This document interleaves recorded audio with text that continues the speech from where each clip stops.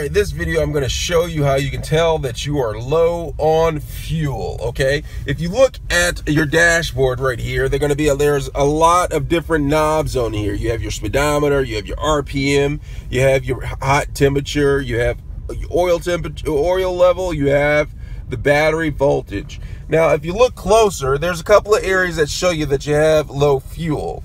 First, you look at this right here. This is right here is indicator uh, that shows you how much fuel you have in your vehicle. If you look right here, this part right here, this section right here, it is on E. It says that it is on E. That means I need to add fuel to this vehicle right here. Okay.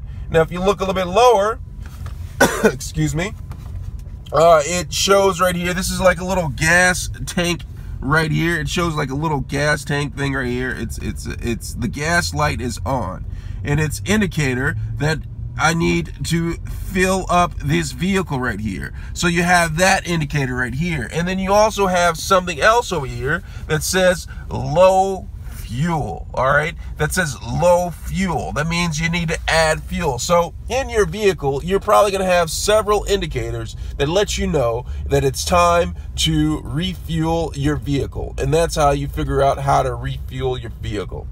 Let me know if you have any questions.